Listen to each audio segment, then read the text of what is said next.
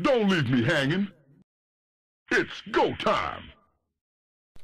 Hey everybody, this is Josh, and here we have the grand finals of the PokerIdol.com tournament. I've been casting replays from it for about a week now, and TLO, I've just been following him all the way to the grand finals. He just kept facing great Terran opponent after great Terran opponent. He knocked off Mers, Goody, Select from Dignitas Gaming, and then SjoW from Dignitas Gaming, and here he is in the grand finals as the purple Terran down here in the bottom right.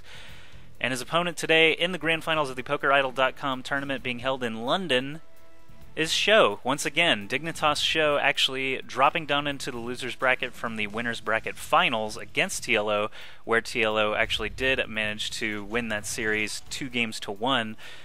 SjoW got down into the lower bracket finals and faced none other than Dignitas Select, his teammate, and another victim of TLO. So both of those guys on the same team. TLO actually defeated both of them in the winners bracket, and they actually had to play against each other to decide who would play against TLO a second time here in the grand finals. 1,500 pounds on the line for the winner of this best of three series, and TLO has already shown us that he knows how to play against SjoW. Obviously, he beat him two games to one in that upper bracket final. Now it's he's back for more punishment here in the the grand final. So maybe SjoW actually you know, thought about his games with TLO, watched those replays intently, learned something about his German random slash Terran opponent. Maybe he worked out something new against Select, and he's going to try and, you know, actually win this grand final. And SjoW actually did win the Intel Extreme Masters European Championship against WhiteRa, so uh, he has, you know, live tournament experience. He's not unfamiliar with the taste of victory, so perhaps he will be able to bring it back and try and get some victories here against TLO, who actually has been pretty much rampaging in this matchup so far in this tournament. From the round of 16 onward, he has only faced Terran opponents. That is why he has continued to just pick Terran as his race instead of just letting the dice roll and potentially getting Zerg or Protoss, a matchup against Terran that he's less you know comfortable with. So uh, has just pretty much been unstoppable, showing a great understanding of this matchup and pretty much dominance over his European Terran counterparts. But so far in this game, both players pretty much sticking pretty closely with the other player here. TLO is getting refinery up, uh, refinery number two up, while SjoW gets a factory up before getting that second gas. So he is going to have the faster mech units. TLO, on the other hand, getting a reactor quite quickly. So I'm not sure if he's going to go heavy bio or add on this factory and flip it over onto the reactor for some Hellions. And TLO remarking, "Oh wow, a scouting SCV," and of course. SjoW says it's a mind game because he is sometimes known as the blind Terran. He actually has a reputation for not scouting hardly ever, even in tournaments. Uh, he just is very comfortable with his build orders and likes to wait, play a little bit defensively at the beginning of games, and feel out his opponent that way. He's just not. Uh, he's not convinced that scouting in the early game is giving him enough information to actually win, so he usually just leaves that SCV mining for the first mm, 5 to 10 minutes of the game. And I just noticed that the timer is not on right now, so I will go ahead and turn that on uh, just so you guys can see that. Sorry about that. I don't know why every once in a while it will actually uh, turn back off. Show game timer, there we go. But back into the game here. Starport coming up for TLO.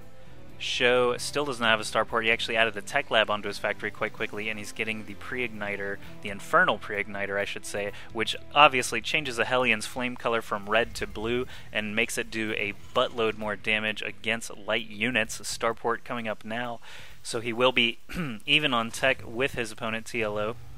Eventually, Starport might be the one actually flipping onto the reactor since that factory actually did get a tech lab add-on to make some siege tanks rather than, you know, that pre-igniter upgrade that SjoW has been getting. So, tanks against Hellions, if SjoW were to attack a lot faster, he might have some success here, but it looks like he is going to bide his time, mass up a lot of Marines and Hellions before actually coming to attack head on. That Hellion might have gotten up the ramp and seen something. I don't think he did because it still had full HP, and if he had gotten up this ramp, those Marines surely would have taken some hits off there. But um, right now just tank marine for TLO with a couple of medevacs coming in for support. Actually, just one at a time since the starport did not flip on to that reactor. Neither player looking to expand at all, which I think is interesting. It looks like SjoW is adding on a second barracks now. He's going to be making medevacs for his army as well.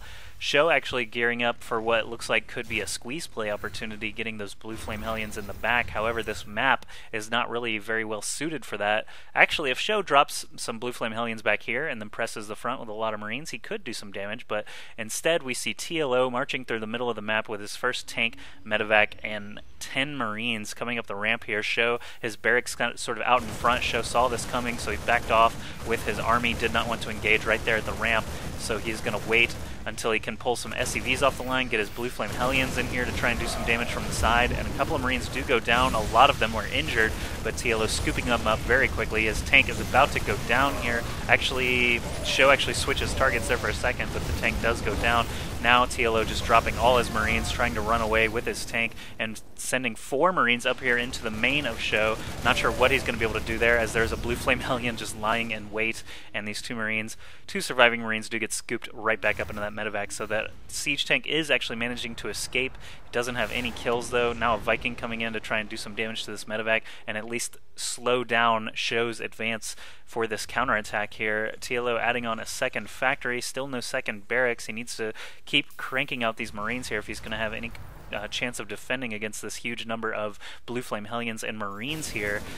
Uh, tanks sieging up right now could do a, quite a lot of damage here to these Marines, and the Hellions, of course, don't do that much damage to the tank. TLO saying ASF, I'm not sure if he mismicroed or something and just got mad or something, but uh, the siege tank is going to be... Ooh, he attempts to repair back up. Now all TLO has left are SCVs and a couple of Marines here against some Blue Flame Hellions doing a lot of damage here. Six kills on this one, 11 on this one. Still blasting these SCVs. They do so much damage, kill them nearly instantly. And TLO is going to lose a lot of workers here. Let's look at the income tab as that last Hellion goes down.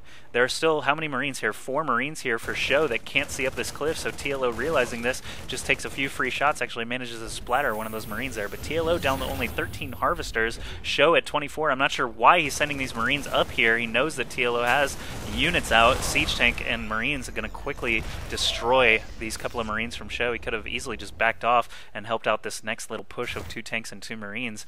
Not sure what he did there, but apparently both players are lagging significantly and having to ask some observers to please leave the game. But uh, back to my initial point, TLO is down to 13 harvesters. Show actually had double that count for a little while, and now TLO trying to desperately rebuild here. He's got SCVs queued up just so he doesn't uh, forget, and he actually just loaded up some Hellions into a medevac of his own. Does he have pre-igniter. Uh, uh, yes, he does actually have the pre-igniter upgrade himself, so he is actually going to try and do a drop in the back. Initially, I thought SjoW was going to be the one to actually try and do that, but uh, SjoW sticking to a more traditional push up the front. Apparently, TLO kind of hurting for army supply right now. SjoW is ahead 58 to 43, and he's pretty much nearing the ramp right now of TLO. He's going to be able to blast up here, kill off these Marines with Vikings for spotting, and uh, TLO sending three Hellions up the front, going to be able to snag some reinforcement kills right there. Very nice. Uh, SjoW actually did manage to expand, and then he's dropping three pre-igniter Hellions in the back. And the supply depot is down for SjoW, so they're just going to run right in there into the main mineral line. We'll keep those other Hellions in the picture-in-picture, but look at all these SCVs just ripe for the picking. SjoW is not even attempting to move them. Just look at the pile of debris. Oh my god. There's just incinerated SCV ashes all over that mineral line. Almost every single SCV there just got destroyed, and SjoW uh, just now trying to come up here and defend against this. TLO might actually be able to escape with these Hellions even. And SjoW, meanwhile, is at TLO's front, still trying to siege up the cliff here, uh, but TLO has a couple of tanks of his own, so now it's kind of a sort of spotting war. Um, it really just depends on who can see what and SjoW does manage to snag a supply depot right there, but both players at similar army counts, actually TLO way ahead because he has workers and SjoW does not. These the three more Hellions here, um, slowly getting dismantled by this tank and Viking. But SjoW has essentially no workers. He's only got five SCVs total, no gas. So if the units he has right now don't actually manage to kill TLO, TLO can just sit in here, continue to make one tank at a time, a couple of Marines, a couple of Hellions, you know, whatever he wants out of this starport, and he just has to bide his time. And eventually, uh, he's just going to overwhelm SjoW. SjoW has no economy. 26 Harvesters for TLO, only 8 for SjoW. Those Hellions just doing massive amounts of damage. Uh, TLO forced to retreat his starport here to the back canceled that reactor, but he's going to have plenty of units here to deal with uh, whatever SjoW attacks with at this point. a little bit more frustration from these players. I saw Shoutcraft was forced to leave the game. That's usually Total Biscuits um, account for casting. I'm not sure if he actually casts these games or not, but um, just too many observers can cause lag, obviously, and if, the, if a lag screen pops up and it's an observer and not a player, you know, it's totally within their rights to ask them to leave, as tournaments can be cast from re replays, which I'm doing right now, so uh, makes sense that they would want the least amount of lag possible. So as SjoW loses these last couple of units here at TLO's base, uh, TLO is actually adding on a command center now. SjoW has gotten some workers back up, but he lost his entire fighting force there. He's only at 14 harvesters, now 16 single siege tank parked in that mineral line, but TLO uh, with the superior army value, actually just barely superior. I'm surprised SjoW is even able to keep up that much, but um, he's only got a handful of Marines and a medevac. TLO has these Blue Flame Hellions, splash damage from siege tanks, and the starport not doing anything right now. But um, TLO figures he has an advantage. He killed all those workers. He knows that. He doesn't really feel the need to counterattack immediately. He's just going to continue massing up here. Uh, he's only building one tank at a time, honestly, at this point. And here comes some Hellions. Ooh, they find these Marines here. They're going to gun those down extremely quickly, and SjoW is too slow to try and pick them up. He's going to just save what he has left there on the side, and these four Hellions are going to continue to cruise all the way up to SjoW's natural. Torch a Marine, torch another Blue Flame Hellion, goes down extremely quickly. These Hellions, keep in mind, actually are light units themselves, so Blue Flame Hellions do a lot of damage to other Blue Flame Hellions. More SCVs being slaughtered right there, mules going down, their yellow corpses sinking into the meteoric rock here, and TLO just does so much damage with these Blue Flame Hellions. Every single TVT that I watch SjoW back down to only six Harvesters. There are more Hellions in the back doing damage. Show just reeling right now. He has essentially no economy once again, and TLO is just content to, you know, fly away with his medevac. There are no Vikings really in the area or in the air at all. If we look at the units tab, he has no Vikings. TLO says, WTF, Drool is still in. Poor Drool, lagging the game, I'm sure. I can't believe how many observers in this game are being asked to leave. Uh, it's kind of interesting in these live tournaments, these live events, there is no LAN play, so obviously each additional player that's watching the game is going to lag the game a little bit. And I guess it got to the point where the lag screen kept popping up, and these players, of course, want to play their best in the grand finals of a tournament with 1,500 pounds on the line. So observers just have to get out of there. But um, obviously, I'm not going to have a problem with lagging since I'm playing offline here. But uh, all these last remnants of SjoW's army coming in here, getting blasted down by these siege tanks. He's going to move in with his medevac, and there's only really one marine here for anti-air. But uh, TLO, of course, can get over here quite quickly. He's got a blue flame hellion, a marine, and a marauder already here to deal with this and looks like he is going to clean this up without any problems. I can't believe SjoW is even still in this game. He's he's getting more SCVs now, but he's still in single-digit workers, uh, which he he was at single-digit workers, you know, um, 40 seconds into this game, and now we're at the 18-minute mark, and he's still only got 10 now.